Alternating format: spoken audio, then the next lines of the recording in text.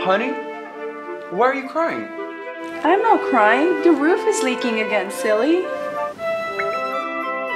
I told you, you should have called Century Roofing. Here you go, Dad. Century's the top of the list. Thanks, hon. Here, Dad. Thank you, son. Century Roofing, how may we help you? Hello? We have an emergency. We have a leaky roof that needs immediate attention. Yes, sir. We'll send a roofing specialist immediately. What is it now? Let's find out.